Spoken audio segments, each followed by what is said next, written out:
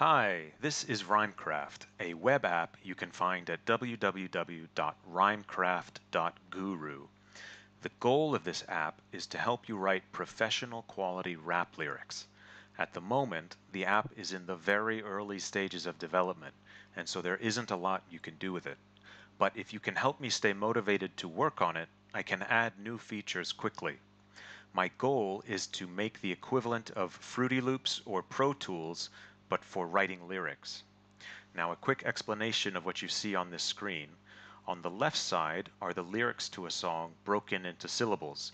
The red highlighting means that the program is not sure how to pronounce those particular syllables. On the right side, you see the syllables shown on a timing graph, where each row of the graph represents one measure of the song, and the different colors represent different vowel sounds, so that if you see two syllables with the same color, that means that those two syllables rhyme.